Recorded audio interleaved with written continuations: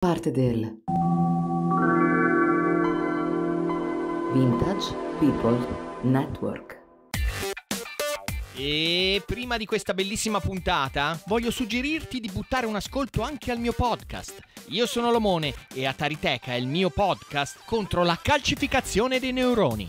Ogni giorno parlo di retro gaming, storia dei programmatori, aziende informatiche storiche e iconici videogiochi e lo faccio con un taglio molto irriverente che spero ti piaccia. Noi siamo i Vintage People e se ci ascolti sei vintage anche tu. Per Memories, secondo anno, questa è la prima puntata del secondo anno di Harder Memories e lo so perché me l'ha detto la piattaforma. Ha detto bravo, sei arrivato al secondo anno. E come ospite per la prima puntata del secondo anno abbiamo un carissimo amico del museo, mio personale, e nonché lo spiegheremo dopo. Ecco noi Leonardo Vettori. Ciao. Ciao, ciao. Ciao a tutti. Allora, Leonardo non è una voce nuova nel palinsesto di The Vintage People perché è già stato ospite un paio di anni fa presso il buon omone Simone Guida da Tariteca, se ricordo bene. Sì. Giusto? Sì, sì, Perfetto. giusto, giusto. Ricordo benissimo. E, ed è qua per la stessa funzione che spiegò in quel giorno, quella mattina o quella sera. Poi non so quando avete registrata la puntata, quindi no, io l'ho ascoltata la mattina, quindi per me l'avete registrata la mattina, però può darsi l'avete anche registrata la sera. No, si registrò di sera e probabilmente l'hai sentita una o due settimane dopo. Quello di sicuro, perché c'è sempre un, un delay tra il, il desiderato e il realizzata. Leonardo è un socio del museo, anche non so se l'ho già detto, lo ripeto. Eh, tra l'altro è uno di quelli che partecipano abbastanza, nel senso che ha fatto delle proposte e una di queste è diventata anche la spina, la, lo spunto più che la spina per una mostra che si è tenuta al Museo della Preistoria di Firenze per circa una decina di mesi. Sì, è, sì, finita, è, andata, bene, è, andata, è andata benissimo, è, andata, è finita a novembre e niente, quindi ci fa molto piacere averlo ospite. E come sai, buon caro Leonardo, qua si parla di memoria hardware. Io e te ci siamo conosciuti anni fa a Firenze Vintage Beat alla, um, alla, manifestazione che l'associazione di La Strassigna, se ricordo bene, ora avrei fatto un errore che scatena una guerra, una, sì. la Strassigna, no perché sennò si scatena una guerra locale tra la Strassigna e Signa. E ci siamo conosciuti lì e quindi sei comunque un appassionato del settore. Per cui, carissimo, quali sono i tuoi primi ricordi hardware? Da cosa sei partito in questo splendido mondo? Allora, io sono partito eh, la prima volta, eh, ho desiderato il Commodore VIC-20 mi Ottimo. ricordo che era novembre, eravamo vicino a Natale e come ho detto tante volte, il mio compleanno è il 23 di novembre, mi avevano regalato il Lego, che ero felicissimo, ero un bambino felice. Poi quella sera alla televisione vedo la pubblicità della Commodore con il VIC-20, con la musichetta, mm. quella dimmi come fai se non ce l'hai, e io non lo so cosa mi prese. Io vidi quel biscottone lì, il primo biscottone del Commodore 64, con quei pulsanti mm. arancioni bellissimi da una parte, e me ne innamorai. Io non potevo più vivere senza, non capivo cosa faceva, però mm. sapevo che non potevo più stare senza. E quindi mi ricordo che passai quel mese, da novembre mm. fino al 25 di dicembre, a stressare mio babbo, poveraccio, per farmi comprare questo computer. Mm. Naturalmente allora costava 199.000 lire più IVA, più c'era registrato, insomma si arrivava a 300.000 lire e 300.000 lire nel 1983 erano tanti mm-hmm. soldi. E mio babbo non ci pensò nemmeno a comprarmelo, fece pure bene.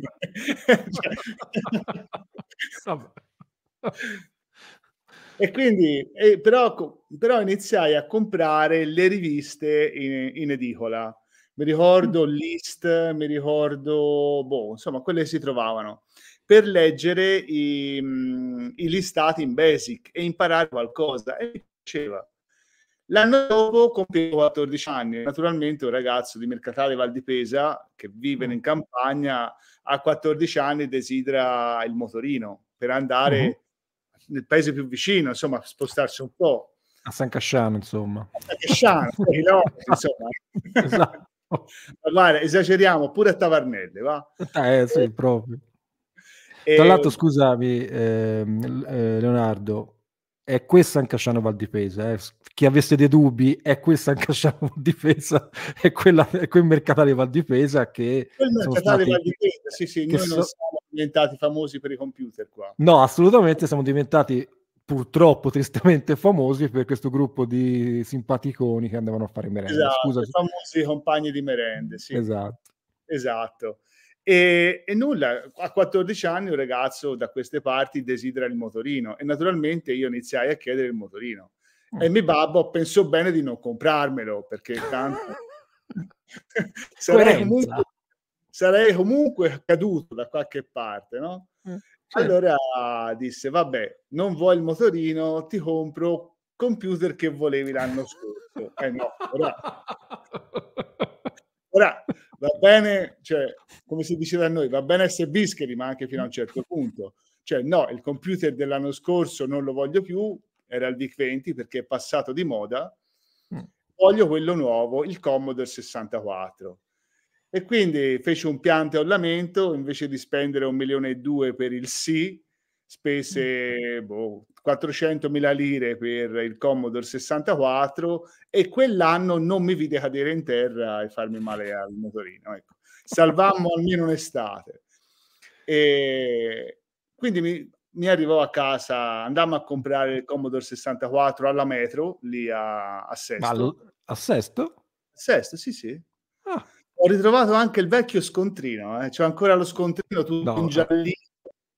Una cosa... allora, quello, quello se c'hai una fotocopia e me lo mandi, ho deciso, ho deciso anche di tenere la documentazione, cioè ho deciso, noi del museo, lo, lo sai, no? Ci sei stato, Certo. abbiamo anche documentazione originale ed è interessante far capire quanto si spendeva per quella roba lì in quegli anni, che non è proprio regalata come qualcuno può pensare. altro è interessante capire come la mia mamma teneva tutti gli scontrini Ah, perché vabbè. nel caso in cui si rompesse si, rom- si Eh. riportava e Alla l'ha tenuto poveraccia fino al 2019 poi se n'è andata Appunto. lei però insomma non si sa mai magari si rompeva nel 2018 e, Che scriveva la Commodore. chiamavamo la Commodore si portava a riparare ecco insomma. è andata così e quindi niente quell'estate che faceva un caldo bestia Mhm. eh, arrivai a casa con questo Commodore, chiusi le tapparelle di una stanzina che poi era un mezzo ripostiglio, mi chiusi là dentro e per una settimana ho giocato a ripetizione a Bruce Lee, Pit Stop 2, Uridium e, e sono diventato scemo perché dopo una settimana che senti quelle musiche a ripetizione non, non è che ne esci sano, ecco.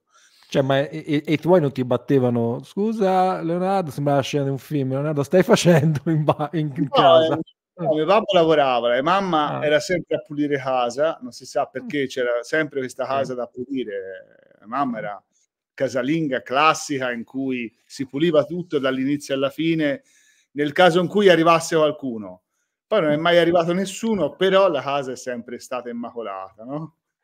Con il, il reparto bar sempre pronto per eh, qualsiasi Sì, ah, cocktail sì, sì, bevute. Eh. Certo, certo, no, no, il reparto bar eh, era sempre era, era sempre bello prospero e nulla, poi dopo una settimana incominciai a scoprire piano piano il basic, a lavorare sugli sprite, a fare i conti in binario, no? passai un'estate a imparare diverse cose, tante cose. E naturalmente il mio sogno era quello di realizzare giochi e diventare ricco e famoso e, e non è mai successo. Però, No, Però però già ci avevi, perché eh, chiaramente poi chi ti conosce sa già le tue ultime, le tue ultime mh, ritrovate, le tue ultime uscite, le tue ultime creazioni, ecco, non mi veniva il termine giusto, scusami, le tue ultime creazioni, questa passione viene da, da lontano in realtà, cioè questa di confrontarsi sul come si fanno giochi, sì, quello sì, su giocare. No, giocare mi annoia, Mm. dopo un po' mi annoia. Eh, mi piace, mm, mi piace provare i giochi, vedere come funzionano, eh, per carità mi piace anche la grafica, io faccio grafica, però eh, mi piace vedere se ci sono concetti nuovi, lavorare su quella roba là. E io di solito sono anche un pessimo giocatore, eh, anzi fa- sono proprio una schiappa e, e non ho nemmeno, diciamo, quella passione di arrivare in fondo per forza o di, vo- di dover distruggere tutti i nemici o di fare lo score più grande, no? Quella cosa lì proprio non mi appartiene per nulla. E, mm, e quindi non arrivavo mai in fondo a un gioco in pratica. Però mi piaceva vedere come erano stati fatti. Eh, più che altro, allora più che altro si parlava di grafica perché insomma con il Commodore 64 insomma era tanta roba eh. e, e nulla è, andata, è andata così però preferisco vedere come sono fatti che giocarci onestamente Ma quindi, mh, cioè, te usa- prendiamo Uridium, sì. che è uno di quelli che hai detto e che fra l'altro è, è uno dei miei preferiti del 64. Se ricordo era, era orizzontale, giusto? Uno sparatutto. a orizzontale, sì, orizzontale. A me mi colpì per la, la, la gra- cioè la- il livello di scrolling, che se ricordo bene, allora facciamo una parentesi per chi ha sotto i 40 anni. Eh, uno dei problemi del 64, ma non era solo, diciamo, uno dei problemi degli home computer, degli 8 bit, era affrontare lo scrolling, perché non era così banale spostare tutta quella grafica, soprattutto per un gioco come Uridium che da destra si andava a sinistra o viceversa, giusto? Ricordo bene? Sì, giusto, Quindi sì. vi- potete immaginare che non è pro- lì il problema non erano i 30 frame, lì il problema era essere credibili, cioè non è che potevi rallentare di schianto no? al momento della virata eh, la, la velocità di aggiornamento del- della grafica. Io mi ricordo che Uridium, però, forse perché ne uscì tanti in quel periodo, in due o tre anni sono uscite una marea di, eh, di sparatutto eh, orizzontali che potevano anche tornare indietro, perché da- ver- tutti verso una stessa parte ce n'era, però alcuni facevano anche sto giochino e potevi tornare indietro. E a me mi stupì per la grafica, cioè, ma no- quel fatto lì cioè, aveva una, una fluidità incredibile. Non so se Allora, ha fatto lo stesso effetto anche a te. Sì, subito. Allora, a me mi stupì per due o tre cose. Allora, prima di tutto è un gioco veramente elegante. Fa Mm. tre cose, ma le fa veramente bene e quindi ti sembra chissà che cosa, però in realtà fa tre cose. Cioè, Mm. uno è fare lo scrolling a destra e a sinistra.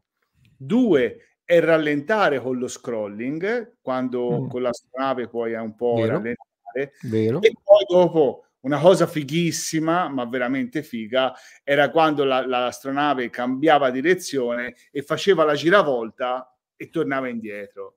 Sì. E lì era un piacere per gli occhi. È un po' come quando vedi 1942 il gioco della Capcom in verticale che fa la rotazione, no? E poi in realtà nel gioco c'erano i nemici da distruggere, che non erano nemmeno poi tantissimi, Mm. e poi dopo c'erano le barriere. Mm. Questo mi ricordo di Uridium, o almeno i primi schemi, perché poi non era facile e io ero una schiappa, quindi se c'è qualcosa dopo non, non lo so. Pratica- Sì, c'è, c'è qualcosa dopo, mi hanno detto. mi hanno detto se c'è... Però in pratica quelle tre cose erano fatte talmente bene che era un gioco perfetto, praticamente elegante in quello che doveva fare. E soprattutto quello che mi piacque, cioè sì la grafica, però l'atmosfera, le ombre che venivano da sinistra verso destra, mi sembra, e quindi Sì. e in realtà poi la grafica è fatto anche con pochi caratteri, anche fa- è fatto anche con poche tiles, se uno va a Mm. vederlo. Però era, era fatto talmente bene nella, nella sua, eh, con- nel suo concetto che era perfetto per me. Era veramente perfetto. Poi era una schiappa io, ma il gioco era meraviglioso. No, tra l'altro, eh, poi c'era, io ora non vorrei dire una scemenza, la colonna sonora di Hubbard, credo. Non, Sì, vorrei dire, sì. non vorrei dire, però, sai, è stato il Morricone del 64, non so, non so quanti Faceva tutti lui, eh. a certo Quindi punto faceva tutto. giochi perché c'era le colonne sonore di Hubbard. esatto. Cioè, eh, tra l'altro, ora, a parte gli scherzi, sem- comunque livello sempre alto, però bisogna essere anche onesti perché si ispirava anche a, a pezzi famosi, prendeva spunto da, da, sonorità famose, però deve essere onesto, cioè dava, ha sempre dato un gran ritmo ai giochi in cui, uh, a cui ha partecipato. Sì. Però mi ricordo questa cosa dell'eleganza, ora che la spieghi, sì, è vero, cioè era, sembrava, ecco, in movimento rotatorio, no? Di cambio di direzione, era, sembrava fatto sulla seta, sì, e dai anche sì. ragione, il gioco di ombre era clamorosamente fatto in maniera realistica. Per quanto sì. poi nessuno è stato sullo spazio e quindi eh, cioè, non è che uno sa com'è l'ombra di una nave spaziale. Però, però faceva molto eh, morte nera di guerra quando entri nel tunnel. Eh? eh visto dall'alto. Visto, visto dall'alto. dall'alto. Visto dall'alto, sì, sì, sì, sì. Ok, quindi Uridium, eh, quanto, cioè, quanto tempo hai passato il 64? Allora, eh, con il 64 io ci ho passato mm. fino ai 17 anni, diciamo. 4 anni poi, quindi. Sì, tre, mm. tre anni facciamo, mm. tre, quattro anni, perché a un certo punto io decisi di fare, di diventare perito informatico e quindi in terza superiore comprammo il PC quindi mm. abbandonai il Commodore 64, lo misi una parte, da una parte per iniziare la programmazione col Turbo Pascal, col C++, con eh, insomma tutta questa roba qua, ecco, insomma, mm. cominciai a dedicarmi alla programmazione, il Commodore 64 l'ho abbandonato piano piano. Ma proprio di schianto ce l'hai messo nel, nella scatolina in polistirolo? Poi... No, no, no, cioè, cioè, col Commodore 64 ci volevo giocare, cioè ci giocavi, perché allora con i PC non ci facevi nulla. Io addirittura avevo la scheda CGA, mi sembra, era, era una cosa tremenda. E il, mi ricordo ancora il computer, il PC che avevo era un clone dell'Atari, un, una cosa ter- tremenda, veramente. Clone, della, clone dell'Atari? O era un Atari? Mi, mi sembra no, era un PC Atari, qualcosa no, allora, del allora, ora qui, ora qui davanti ai miei monitor si sono a, a aperti Federico Gori e Simone, eh. Simone Guidi. L'Atari ce l'aveva la sua linea perché quando arrivò Tremiel all'Atari, e siamo in quegli anni lì, anzi forse negli anni inizio anni 90, non mi ricordo quando è uscito dall'azienda, lui aveva l'idea di fare anche computer professionali oltre all'Atari ST, quindi so di sicuro, ho visto anche le pubblicità che l'Atari fece dei PC compatibili, va, passami, passami il termine. Quindi potresti aver avuto un Atari, ti rendi conto? Potrei aver avuto un Atari, però non me lo ricordo bene, non, non mi ricordo, via bene. Ora... Vabbè. Comunque, diciamo che i colori eh, che c'avevo la CGA me lo ricordo bene. Ah no, vabbè, quello cioè... Infatti ogni tanto casca- ri- riaccendevo il Commodore 64 e comunque nell'87-88 si parla di quegli anni, cioè venivano fuori dei gran bei giochi. Eh. Eh, no, no, infatti... Era tanta roba. Ricordiamoci che il 64 ha avuto un ciclo vitale di quasi 10 anni, più o meno, mm. più o meno. Anzi, talmente di successo la Commodore voleva fare anche il Commodore 65, che per me rimane uno dei più grandi misteri e eh, lo so, questa cosa la ripeto spesso, però me, mi, qualcuno mi deve spiegare perché senso aveva un 8 bit nel 1993, però questo... No, non aveva nessun senso, probabilmente c'era qualche program manager o commerciale che voleva fare eh. carriera e spingeva su quelle cose. lavoro in azienda da tanti anni e decisioni che non hanno senso ne devo prendere, non voglio dire tutti i giorni, ma... Eh. Quindi se la, sarà successo lo stesso alla Commodore. Ecco, sì, eh. Esatto, qui stiamo sfiorando le nostre vite lavorative, quindi siamo... no, non ci sono problemi. No, no, no io faccio tranquillamente quasi tutti i giorni, non ci sono problemi. Sì, ma eh, anche recentemente anche, anche, abbastanza ridicole, ma non stavo attento perché sennò poi mi criticano e mi censurano no, no, al lavoro. Verità, qui si finisce. No, eh, perché io ho firmato anche un foglio in cui non parlo male del, del lavoro al di fuori dei canali lavorativi, quindi io non è vero, solo ho fatto un discorso ipotetico. Certo, raccomando, certo. raccomando, raccomando. Eh, se ricordo bene, quindi sei passato dall'8 bit a 1632 probabilmente, sarà stato No, un ha 80, sempre 8 86. bit perché quel PC c'aveva Ah, l'8088 dentro. bravo, ti eri affezionato alla piattaforma. Ok, sì, esatto. Eh, Quindi cioè, passai da un 8 bit a un altro 8 bit. Non è che... Esatto. Ti sei fatto anche C++, comunque complimenti, perché non... Sì. Io, per esempio, sono partito con il COBOL, quindi voglio dire, sono partito proprio da... a- Altro che eleganza quella, quella era proprio roba scritta alla stilografica come programmazione, e quindi hai fatto poi tutto il percorso PC, giusto? PC Sì, compatibile. Sì, Ma Poi ogni tanto provavo linguaggi nuovi, mi ricordo il logo, ho provato il Ah. Fortran, no, alla fine, insomma, li ho provati un po' tutti. E Mm. poi alla fine ho scoperto che non mi, piace- non mi piaceva programmare. Ecco. dopo quanto? Eh, al diploma. Quando sono arrivato Ah. al diploma ho detto ok, l'ho preso, a me però non mi, mi fa piace. schifo, mi fa Fa cagare, fa schifo. mi fa schifo perché avevo iniziato all'istituto tecnico perché il mio sogno erano i videogiochi Mm. eh, e poi mi sono reso conto che avrei passato il resto della mia vita a stare dietro a database, a programmi. Poi io sono una persona molto sprecisa, Mm. quindi tante volte i miei programmi non funzionavano non perché non fossero costruiti bene, ma perché perdevo punti e virgole, due punti e sintassi da tutte le parti. Quindi entravo in quei giri di loop, poi bene o male, bene, bene o male col C++ o col Basic uscivi da, uscivi da un cillo, no? in qualche Mm. modo baravi e uscivi a forza. Il Pascal invece mi fregava, non ce la facevo.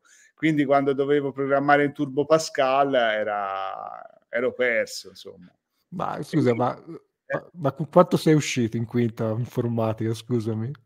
E con Con 42. vo- No, ma con vo- voto, ah, ma voto proprio della materia specifica. Cioè, che No, rapporto no, avevi? No, avevo un bellissimo rapporto. No, no, era, eh, ero, an- andavo bene, solo che mi resi conto e non mi piaceva. Ecco. Ah, vabbè, eh, comunque meglio a 18 anni che a 40, voglio dire. Meglio a 18 anni che a 40. Poi, grazie a Dio, ho confermato le mie impressioni perché vicino a me ho, ho un ufficio di informatici e insomma, li ogni tanto li guardo come degli alieni e, e continuo a fare il mio lavoro. Probabilmente loro, probabilmente loro guardano me come un vecchio, però Eh, insomma, vabbè, eh, quello anche a me, eh, figurati. Cioè, ci vabbè. si guarda e si sta zitti. Però sono contento di non aver Mm. fatto informatica perché non, non ce l'avrei fatta, cioè non sarei stato felice. Ecco tutto qua. Mm.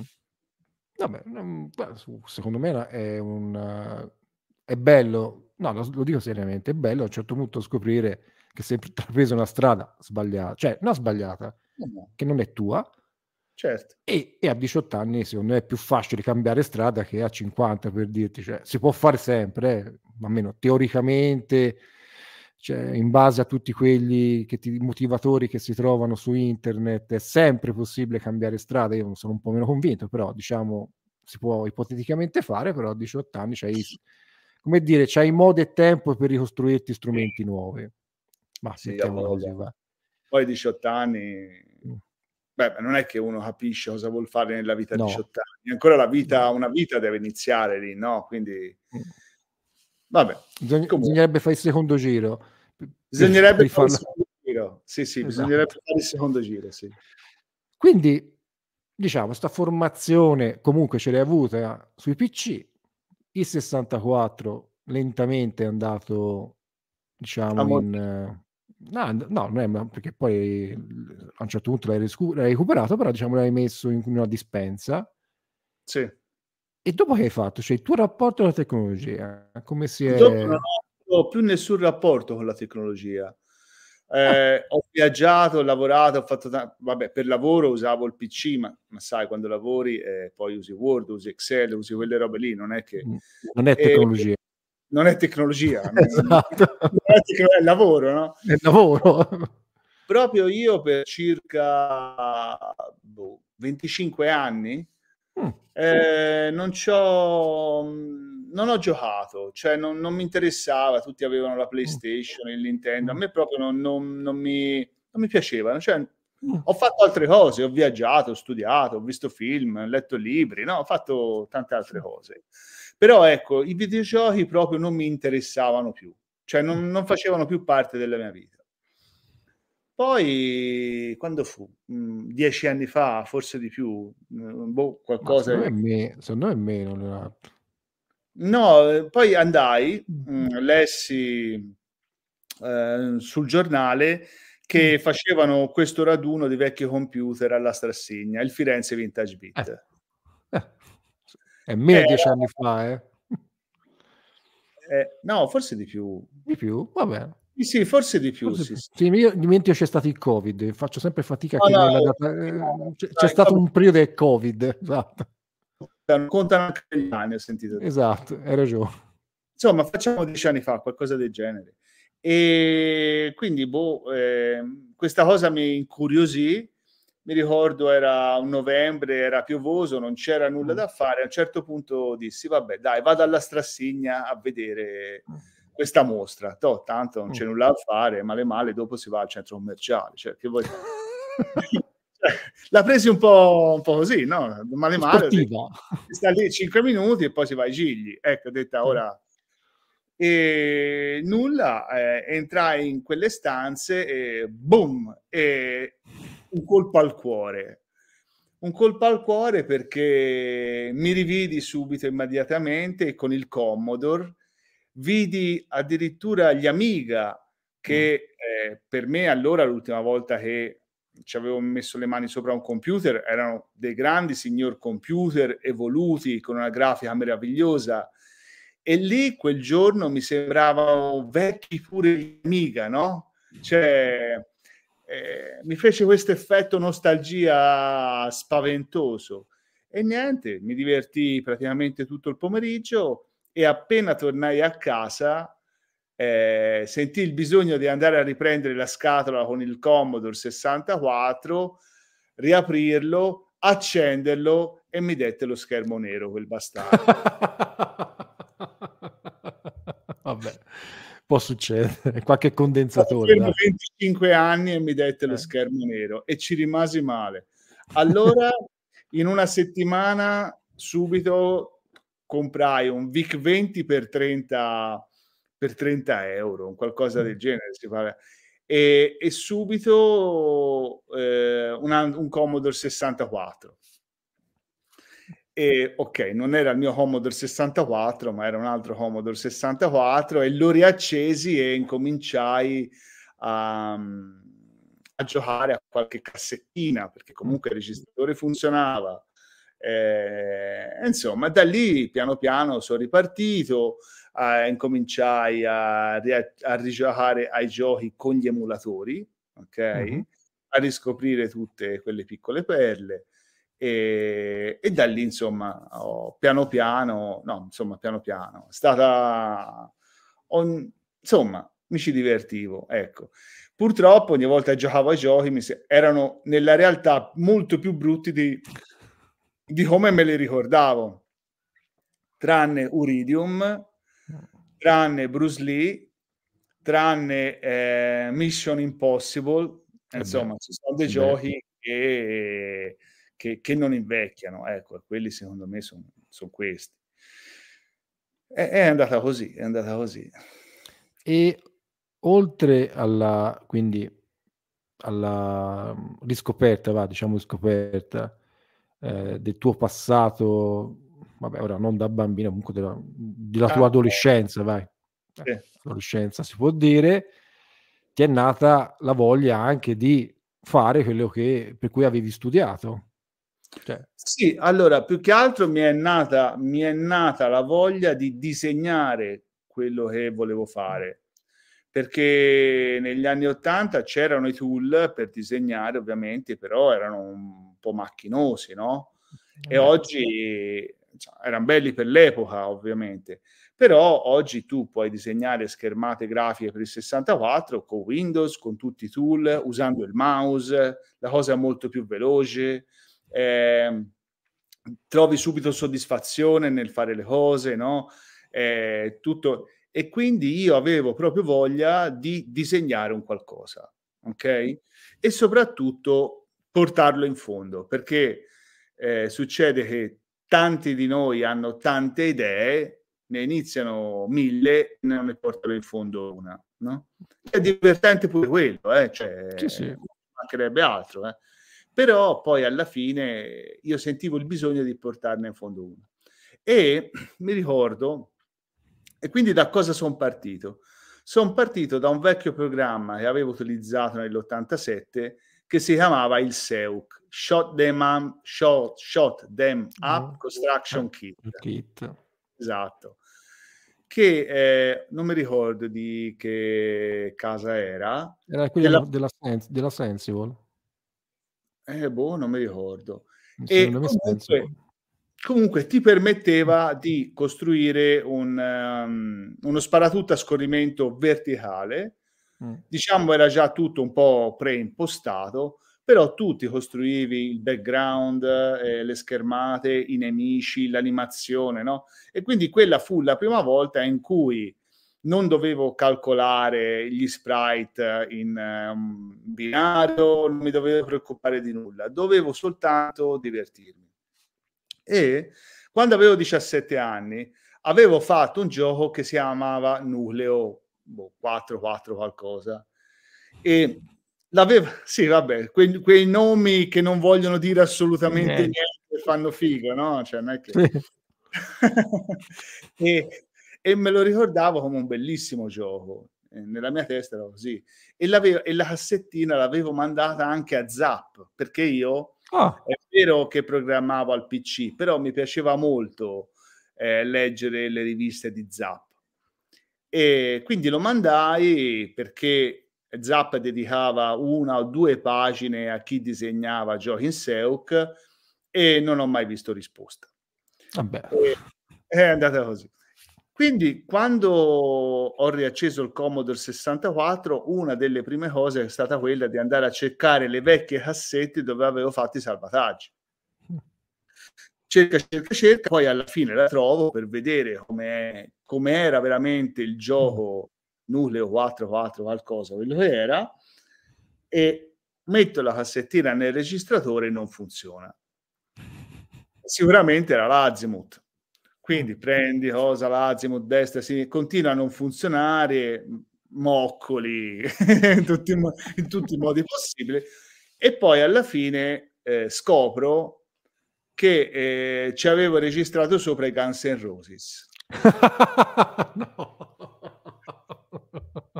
Eh, vabbè. Eh sì, perché allora quando tu hai 17 anni e non hai soldi, ogni cassettina è un tesoro inestimabile, no? Altre priorità erano. Erano altre priorità, cioè la priorità di 17 anni era quella di sentire Guns N' Roses, andare a fare il figo e dire che conoscevi Guns N' Roses, no? Mm. E, e quindi ci sono rimasto male, ho detto va bene, ehm, voglio ridisegnare il nucleo 4.4, quello che era, eh, co- per quello che me lo ricordo. E iniziai, ho ricominciato lo stesso progetto.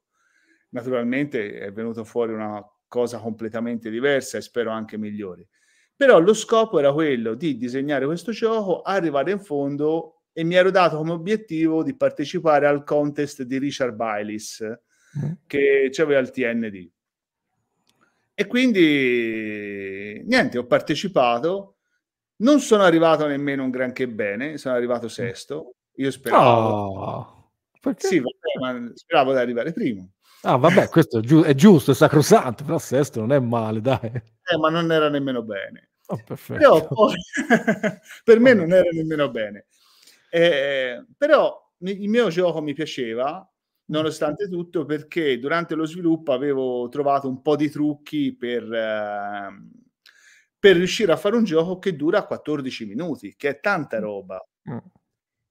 Eh, insomma, un gioco completo con quattro boss finali, quattro paesaggi. Poi sì, ov- ovviamente è un eh, è uno sparatutto a scorrimento verticale, non è che, che- che abbiamo sconvolto il mondo, però ha la sua grafica e il suo stile. E è molto pixelosa, molto insomma, c'ha, c'ha- c'ha il suo stile, è venuto pure bene. E c'è una parte del.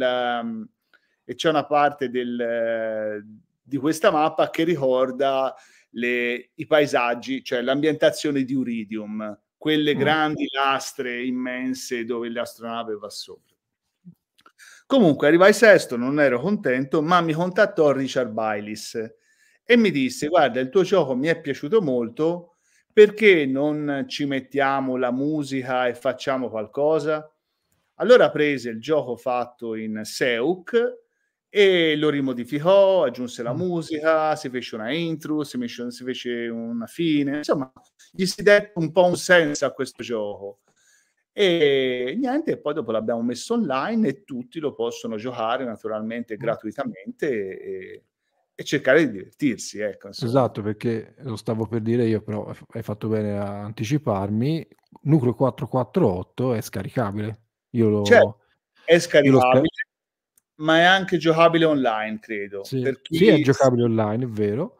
sì, E se hai un emulatore, lo puoi giocare su un emulatore. Poi nelle istruzioni c'è anche scritto per chi ha voglia di convertirlo su un nastro o su un disco e giocare sull'hardware originale, correggimi se sbaglio, si può fare tranquillamente. sì, assolutamente, anzi.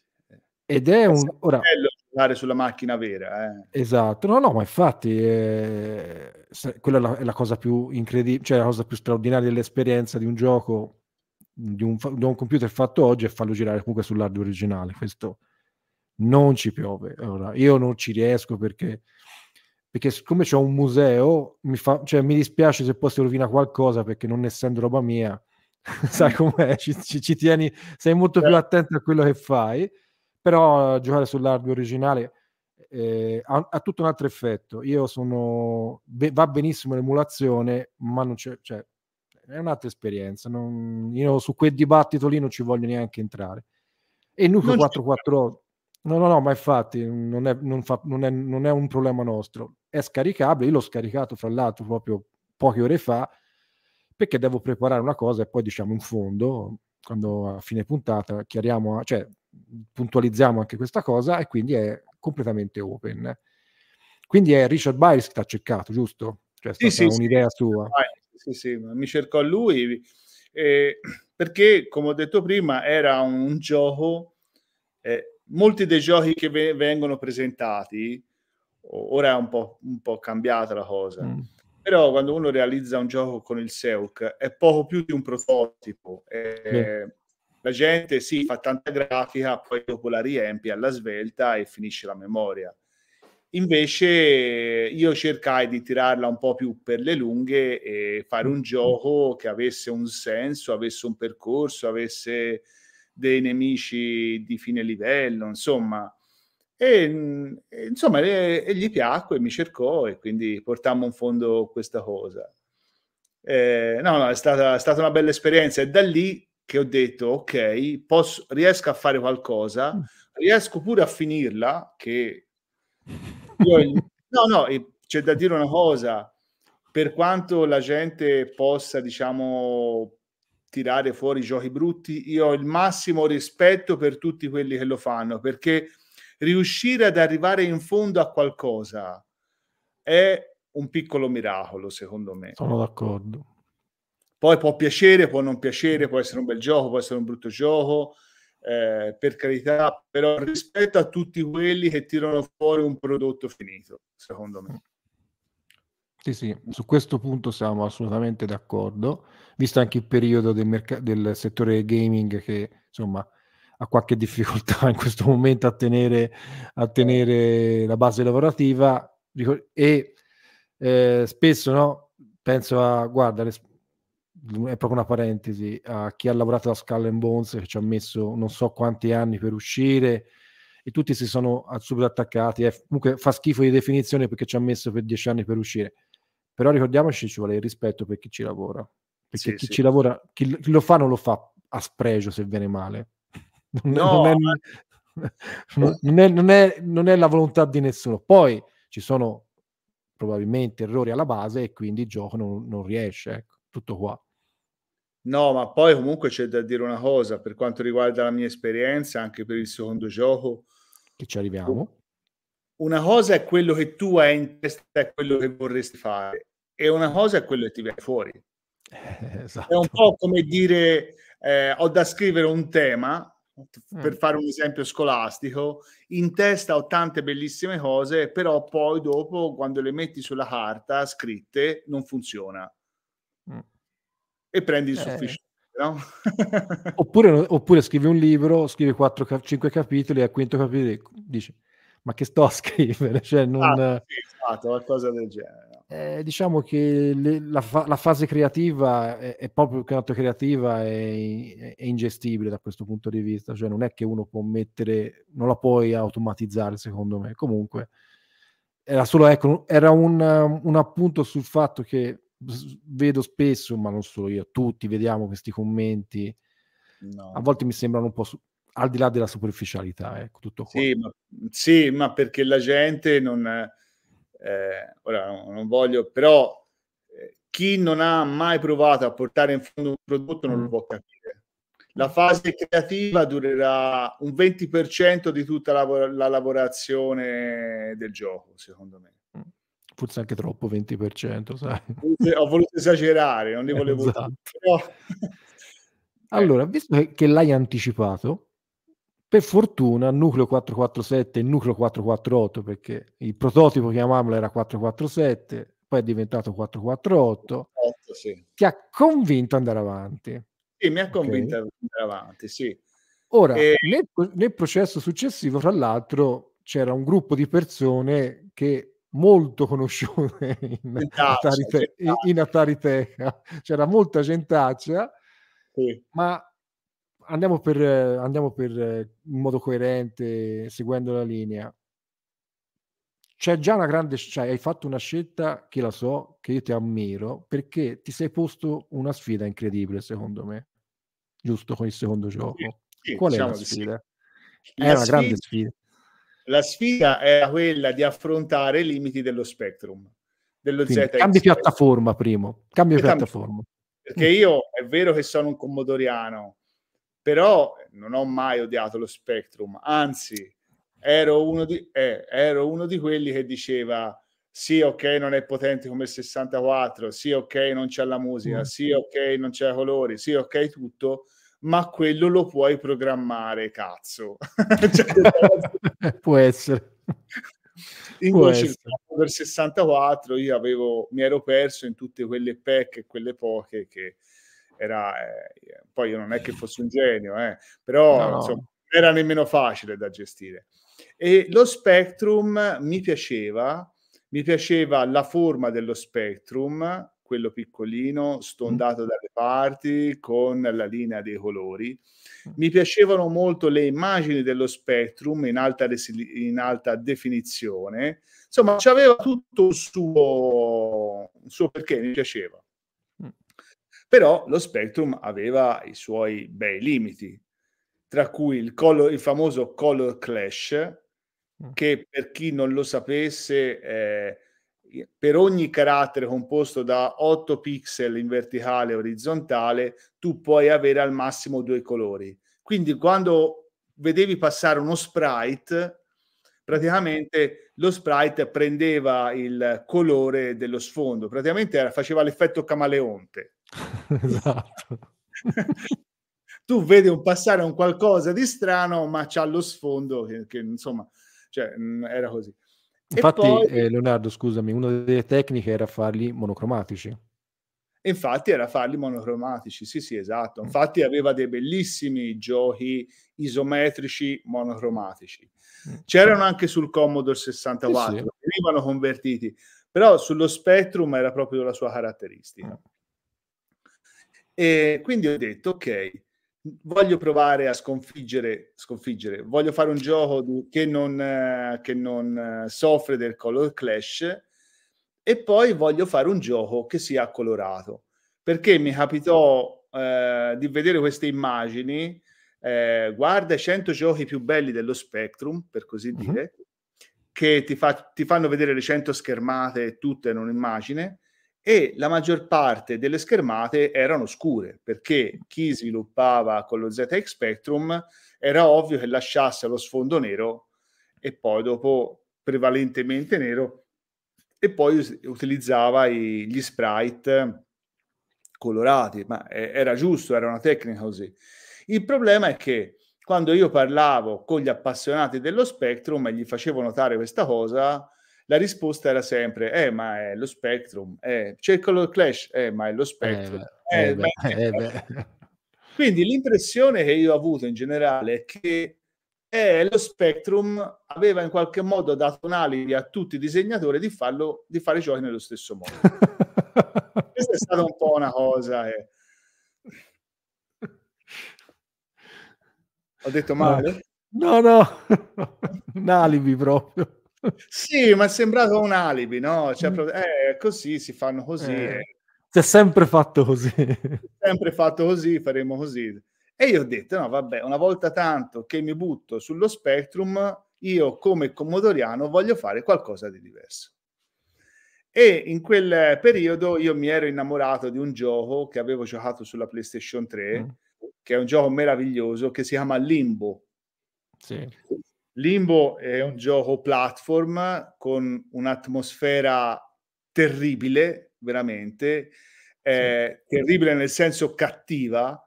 Eh, Mm. Parla di questo bambino che deve fare un percorso, più che un platform, è un percorso che questo bambino fa attraverso questo mondo orribile, cattivo veramente. Mm. E aveva un'atmosfera meravigliosa perché il bambino e tutti i personaggi principali erano neri con questo sfondo eh, grigio, eh, con scalanature di grigio e creava un'atmosfera bellissima. E quindi io dissi, questa è la mia soluzione. Io costruisco un gioco dove eh, i, i personaggi principali sono neri e dietro lo faccio colorato. Questa è stata, eh, è stata la scelta fin dall'inizio. Sì, sì, sì, sì, è stata... Questa è stata una cosa sicura. E dissi, quale piattaforma uso per sviluppare questa cosa?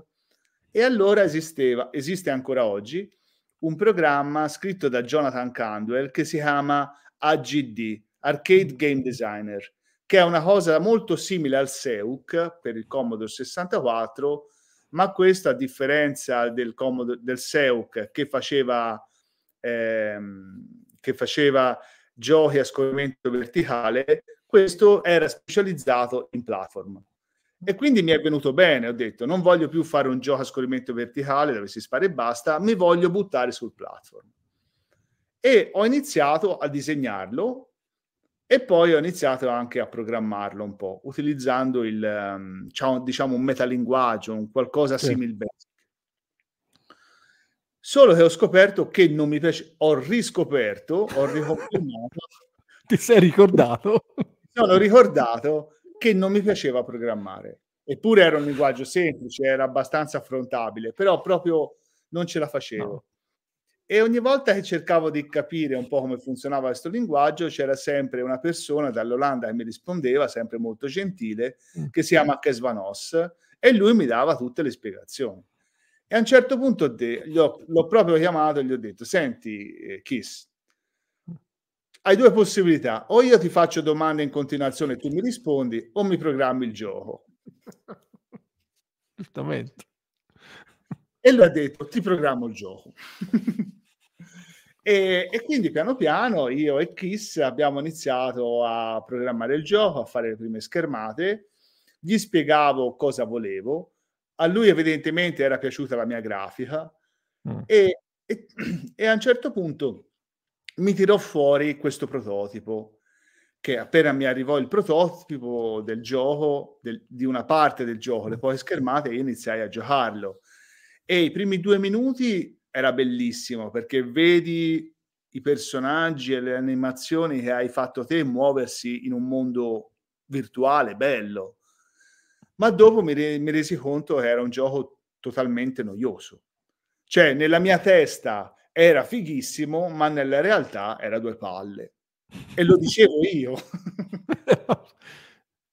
E a un certo punto uno deve avere pure l'umiltà di dire ok, quello che è in testa non corrisponde alla realtà. Che si fa adesso? E che fai adesso? Chiami tutta la gentaccia che conosci e chiedi aiuto. Eh, purtroppo eri messo male, sì. ero messo male, ero messo talmente male che ho chiamato anche te. Eh, vabbè, questo è, è- è scava- cioè, il fondo del barile, spaccarlo e andare sotto. Eh, lo so, ho chiamato il Gori, ho chiamato Marco, e un, un po' tutti. Marco, chiesto... diciamolo che, aspetta, Marco forse è meno conosciuto. Il... Sì, è vero. Eh. Eh, sì, ora, ora, te lo dico, aspetta. Eh. Diciamo, sì, ora abbiamo, scusaci Marco, abbiamo una doppia amnesia in, in diretta. Ti abbiamo evocato solo un'oretta fa, eh, tanto per dire, ma eh, diciamo che mh, mm, eh, parliamo di una persona sì, che, che... Anche Moretti, abbiamo l'Alzheimer tutte e due. Eh sì, di una per... no, no, ma io c'è un motivo, non c'è solo l'Alzheimer il post pranzo. Ah, ehm, diciamo che parliamo di una persona, Marco, che tra le altre cose, tanto per dirvi il livello di, eh, di ricerca, sta cercando di ricostruire il, ehm, il, si dice, il, la strumentazione del, dell'Apollo 11 in uh, dimensioni naturali, reali mi sembra, e ha comunque già, ed era parte di quella, di quella ed era parte della mostra che abbiamo, comunque Marco Fanciulli, ciao Marco.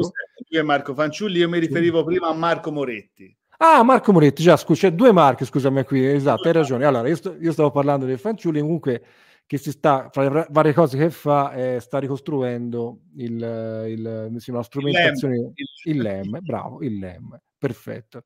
Poi c'è stato Marco Moretti, è vero, che sì, saluto che tra l'altro mi sa che è un po' che non vedo, Federico Gori che lui è dappertutto. Sì, lui è dappertutto.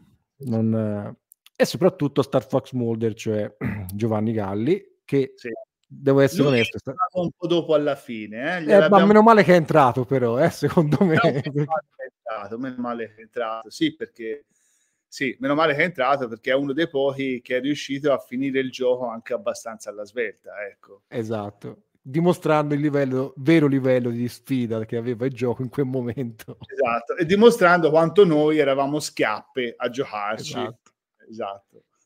Però ecco, e... vis- visto che stiamo introducendo, quindi da un prodotto personale è diventato un qualcosa più di collaborativo, va, cioè, diciamo così. È Come... stata una bella anche perché eh. l'abbiamo fatto durante il periodo del Covid, quindi eravamo chiusi a casa per forza. Sì. E quindi, diciamo, mh, è nata diciamo, una collaborazione piacevole ma anche forzata e diciamo è stato un buon diversivo ecco fare, fare questo gioco un po' per tutti che tipo di platform è Metamorphosis allora, che ancora allora, abbiamo... Metamorphosis è un platform in cui tu devi eh, uccidere gli altri, mangiarli ed evolverli. Praticamente credo sia il primo gioco sul cannibalismo. è vero però, è vero, c'è anche un riferimento al cannibalismo, sì. È vero, è vero, c'è un riferimento al cannibalismo. E, ehm, questo era dovuto al fatto che eh, la GD eh, volevo fare delle belle animazioni. Fare delle belle animazioni vuol dire utilizzare tanti sprite e c'era un limite massimo di 128 frame sulla GD, che normalmente su un gioco normale sono tantissimi, ma per come lo stavo usando io no. Quindi in pratica io mi ritrovai ad avere non più di 3-4 nemici diversi per tutto il gioco. Mm. E dissi, e ora che faccio? a un certo punto mi venne in mente che il personaggio principale, il giocatore, poteva essere come gli altri, cioè potevo sfruttare gli stessi nemici, quindi mi venne in mente l'idea dell'evoluzione. Quindi mi viene in mente l'idea che tu vivi dentro un, un sistema dove tu all'inizio sei debole, poi mangi gli altri, diventi più potente e, e, gli altri diventano più deboli e quindi ti permette di, sali, di salire di livello in livello fino ad arrivare alla fine. Le trasformazioni erano tre, gli altri nemici che trovavi sullo schermo erano tre, ovviamente, nella parte bassa all'inizio trovi sempre i nemici più deboli, poi man mano che sali trovi quelli sempre più forti. Quindi il gioco, diciamo, era concepito in maniera, voglio dire, matematica, però eh, non era un gioco scorretto che tu fai diventare un gioco difficile aumentando la quantità dei nemici o degli spari oppure cioè era un gioco basato su più sali più trovi nemici difficili e quindi era abbastanza equilibrato sin dall'inizio il problema era che questa idea era mo- molto bella però poi alla fine non succedeva molto altro nel gioco. E quindi sono venute fuori delle idee, alcune dei concetti e delle idee, alcune riprese da videogiochi come cerca la chiave, apri il portale, cose un po' viste, che però nonostante io non le volessi mettere, lo ricordo, lo ricordo, sì. Nonostante non le volessi mettere, eh, devo ammettere che hanno reso il gioco molto più interessante. Sì. Eh, sì, eh, purtroppo sono quei concetti che ci vogliono e ci saranno sempre. Eh, non puoi fare io volevo fare l'alternativo, però sono riuscito a farlo fino a un certo punto. E poi venne, qualcuno venne fuori con l'idea del nascondiamo la chiave nelle parti nere e guardiamo se il protagonista, se il giocatore riesce a trovare la strada nel buio. E io a quella cosa era totalmente contro, perché mi sembrava di barare nei confronti sì. del giocatore mi sembrava di rompere la quarta parete, mi sembrava, non lo so, di, insomma, non, non, non, mi piaceva. Però a un certo punto fui minacciato della serie, no, te lo metti perché ci piace, e dissi, vabbè, se piace alla gente ce lo lascio. Cioè a quel punto la cosa buona che ho fatto io, credo, è stata quella di abbandonare le mie, eh, le mie idee per mettere quelle degli altri. E non è facile dire no. ok, rinuncio a questa cosa per poter fare un prodotto migliore che non è come quello che mi aspettavo io, ma che può piacere agli altri. Ed è stata poi una soluzione vincente questa, perché il gioco è veramente, secondo me, è diventato un bel gioco, è, divent- bel gioco, è diventato un gioco diverso, di nicchia, della nicchia, però comunque è stato apprezzato, ecco, da chi ha capito quello che abbiamo fatto è stato apprezzato. E... Tra l'altro un gioco in cui eh, diciamo il, gli appassionati dello Spectrum in tutto il mondo ne hanno parlato, no? visto quando, mh, specialmente in quelle sessioni no? in cui provano giochi uno dietro l'altro, ogni tanto Metamorphosis eh, è apparso sì, perché è apparso. tra l'altro ha avuto una distribuzione giusto? Sì, sì. Insieme a Kesvanos abbiamo deciso di distribuirlo su ITCH io. ITC.io, sì. Esatto. Um, si trova ancora, giusto? Scusami. Sì, sì, sì, noi l'abbiamo rimosso, assolutamente, si trova Perfetto. ancora. Eh, tanto tempo che non entro nel sito, ma comunque nessuno l'ha rimosso. Eh, è scaricabile gratuitamente. Chi vuole fare la donazione la può fare e i soldi che abbiamo, diciamo, guadagnato, in realtà li abbiamo sì, un po', saranno stati 200 euro, 120 euro, qualcosa del genere, in realtà sono serviti per ehm, far stampare le cassettine, perché per me il gioco doveva uscire in cassetta, che ce l'ho a casa ancora celofanato. Non so Anch'io. se il mamma, però è celofanato perché io sento il bisogno di avere il gioco fisico come, come una volta. Siamo e vecchi. Poi, e siamo vecchi. E poi è stato regalato a tutte le persone, diciamo, che ci hanno lavorato. Ecco, insomma. E è stato bello, insomma, è, è così.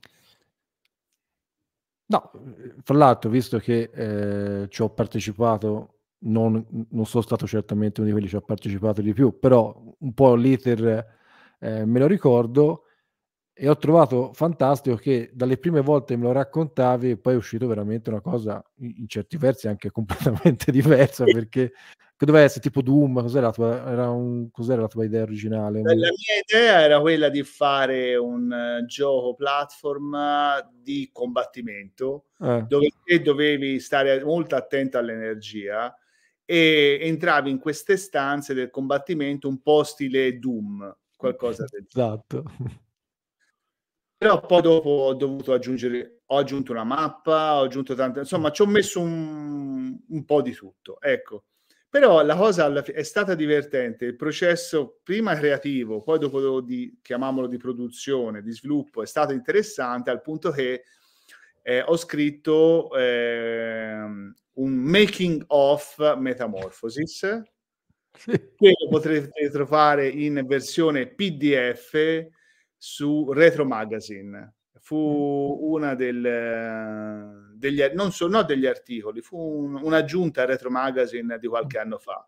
e credo siano una quarantina di pagine, ma tutti quelli che mi ascoltano possono stare tranquilli perché sono solo immagini, la maggior parte è solo immagine, è come sfogliare, si sfoglia dall'idea iniziale a quello che si vede alla fine, e combattute, ricordi, e c'è addirittura un Gantt, per chi non sapesse cos'è un Gantt, è i tempi di sviluppo di, di un qualsiasi progetto, con le persone che si sono aggiunte e ti fanno vedere anche quando si sono aggiunte.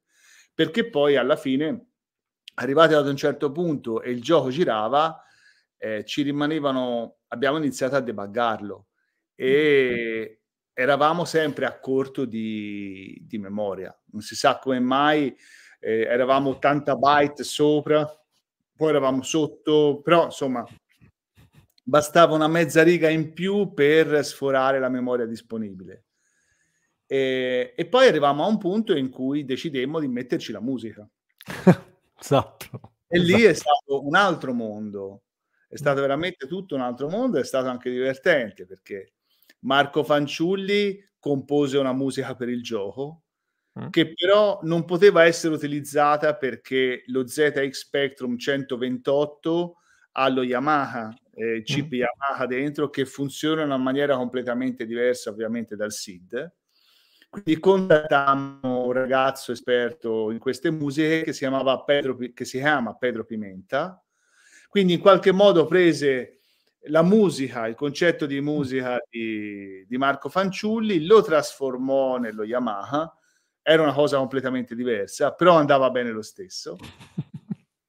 E siccome avevamo tanta memoria a disposizione per, per, la musica, perché il gioco originale sta nei primi 48K, la musica sta in quelli dopo, da 48 a 128, non so quanto se ne può usare, contattai anche eh, un ragazzo della Bielorussia, Denis Palaniuk, che aveva scritto tutta una serie di musiche, credo scritte sotto l'effetto della vodka o cose, cose techno assurde, ma, ma musica meravigliosa, al punto che lui faceva le serate in discoteca facendo ascoltare la sua musica techno fatta con lo ZX Spectrum. Fantastico. Quindi lo contattai, mi dette il permesso di usare le musiche che volevo, non ci furono problemi. Poi non ne usammo tanto, ne usammo soltanto un paio poi alla fine tra cui la musica usata per il boss finale. E quindi poi abbiamo messo tutto insieme, abbiamo fatto il collage, abbiamo chiuso. Il Gori ci ha fatto un bellissimo trailer, credo il primo e unico trailer su un ah, vero, vero il trailer bellissimo, vero, vero, vero, vero. Mamma mia. E, insomma, abbiamo dato un senso a tutto, insomma, tutti ci abbiamo lavorato, è stato bello, ognuno ha messo il meglio di quello che sapeva fare. Sì. E, eh, Infa- e questa infatti, è la maggiore soddisfazione di tutto poi alla fine. Certo, no, no infatti eh, lo, lo, lo, lo, confermo, più che il gioco, cioè a parte la, il, il, piacere de, del prodotto fi, finito, è stato bello parteciparvi, cioè, questo eh, lo devo dire perché insomma ci ho partecipato nelle mie possibilità, però ci ho partecipato, è stato molto divertente, ma soprattutto a me è piaciuto il fatto che si era parti- cioè, eri partita con un'idea e è venuto fuori qualcosa di com- no, completamente diverso, no, però insomma... No, però, però cioè, sì. diciamo è rimasto il 50% di quello che volevo fare, forse. Eh, forse. Eh. E l'altro Quindi, 50... per esempio, quando ci sono quelle storie, no, che il gioco era partito in un modo e poi è arrivato in un altro, eh, ci sta, voglio dire, può succedere. Ci sta. A voglia se ci sta.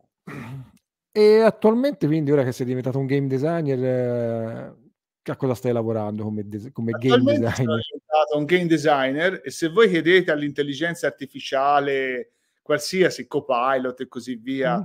Parlami di Leonardo Vettori, dirà che sono un, uh, un disegnatore, di, un rinomato disegnatore di videogiochi. rinomato. ne ho fatti due. vabbè. Vabbè. Però vabbè, eh, eh, insomma, bene, bene, bene così.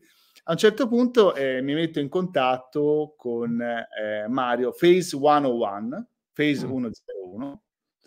Mm. E lui è appassionato di programmazione Commodore, in particolare Amiga e Commodore 64, e mi chiede se volevo, se, se mi avrebbe fatto piacere fare il porting di Metamorphosis. Mm. Ovviamente, come fai a dire di no? Cioè, finalmente per la prima volta in vita mia ho a disposizione un programmatore. Cioè, non che Kes Van Os non fosse un programmatore, però lavorava su un tool di sviluppo, su un qualcosa che è già eh, impostato. Qui invece si ri- poteva ripartire da zero e ingrandire il gioco e farlo ancora più bello e più figo. E quindi ho detto di sì.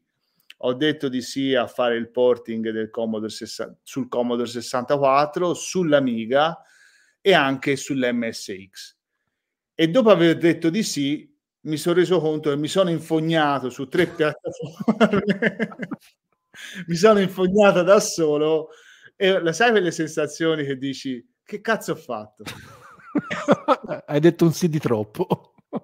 sì, no, ne ho detti tanti.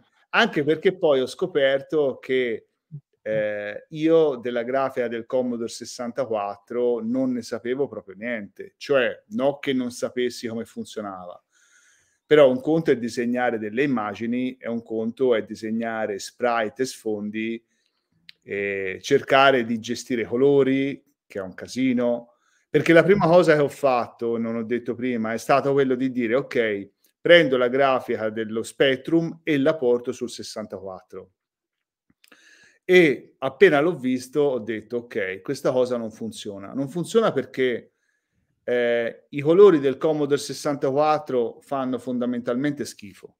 Eh, non c'è poi sì, ci si può rigirare intorno e tutto quello che vuoi, ma il blu non è un bellissimo blu come quello dello Spectrum. E il rosso non è il rosso, è nemmeno minimamente, è semplicemente un marronaccio.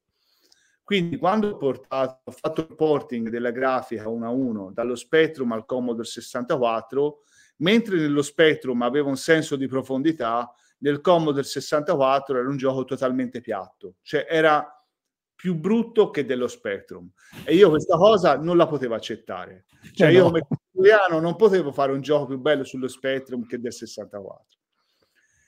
E quindi lì ho iniziato a cercare di capire come, por- come mh, fare una grafica degna per il Commodore 64 e, e ci ho perso tanto tempo, per, più che altro per imparare, per non tanto imparare a mettere pixel, che quello è il meno, più che altro capire qual era la grafica giusta per questo gioco e come portarla sul 64.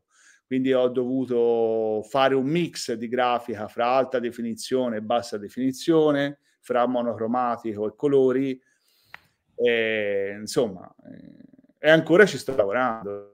Adesso è, è, già impostata da tempo, però insomma è, è, un lavoraccio, è un lavoraccio che mi dà soddisfazione. In una giornata come oggi ci ho lavorato bene, pioveva, eh, certo. mi sono messo lì piano piano una mezz'oretta e metti il pixel, togli il pixel, metti il pixel, insomma, dai la cera. Esatto, dai la cera e togli la cera. Quindi ci stai dicendo che usciranno, cioè uscirà Metamorfosi su altre tre piattaforme. Mi sì, capire.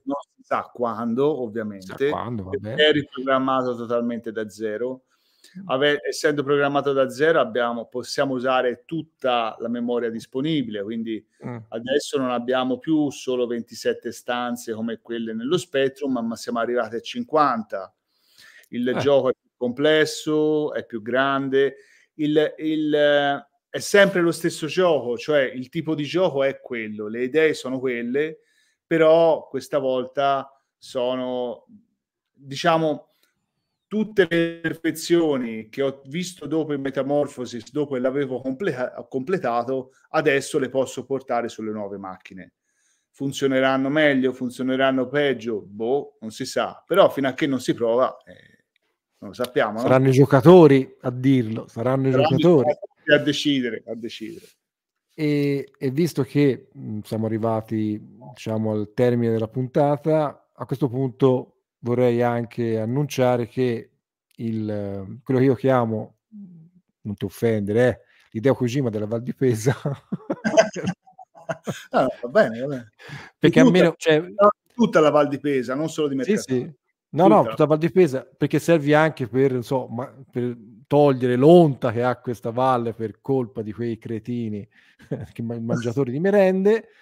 Eh. Sabato prossimo, 16 marzo, eh, sarà ospite graditissimo al Museo del Calcolatore, primo perché è un socio, quindi ci fa sempre piacere eh, avere i soci che vengono, c'è già stato Federico Gori eh, due mesi fa, ci sarai tu, e poi quest'anno forse riusciamo anche nelle altre aperture mensili a portare altri ospiti.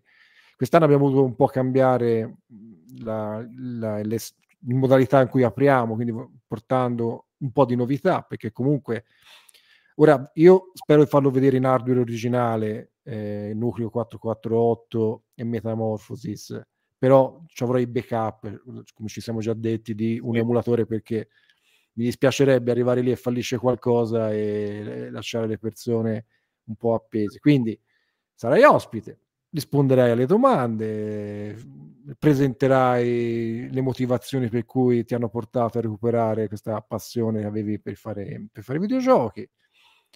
Probabilmente dopo Metamorfosi farai anche qualcos'altro a questo punto. Sì, cioè, dopo, dopo, Metamorfosis non farò mai più Metamorfosis perché okay. è una cosa che sta andando avanti da diversi anni. Mm. Eh, prima con lo Spectrum, poi anche con questi qui più che altro Metamorphosis adesso mi è servito per imparare a gestire la grafica di tre computer, ora, ora certo. li conosco bene. E il mio prossimo progetto dopo Metamorphosis sarà uno strategico. Voglio cambiare genere e siccome io sono schiappa a giocare agli strategici e nemmeno mi piacciono, voglio fare uno strategico che forse mi può piacere a me.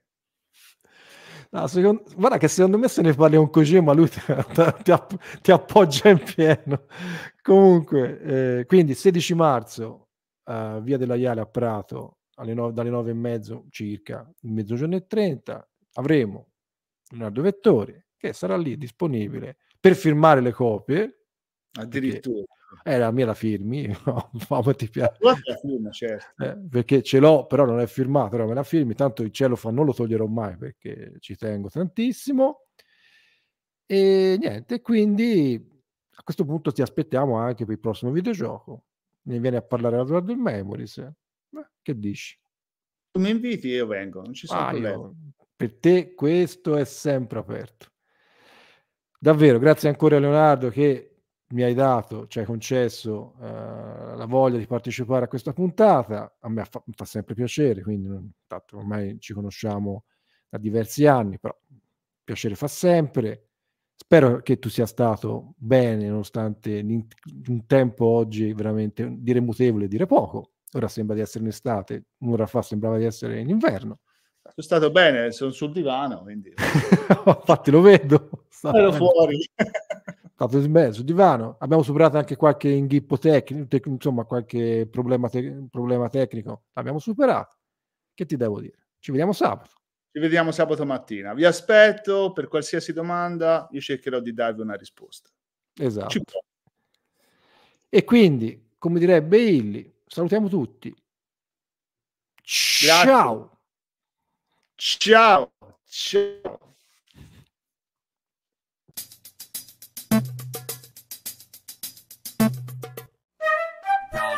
Eh già ragazzi, permettetevi di darvi un consiglio perché se siete appassionati di retro gaming probabilmente potrete trovare interessante anche un altro podcast. Come quale?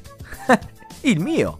Io sono Mike e vi invito ad ascoltare Arcade Story Podcast, il podcast che vi racconta la storia dei videogiochi arcade e anche le professioni che ruotano intorno al mondo dei videogiochi di oggi.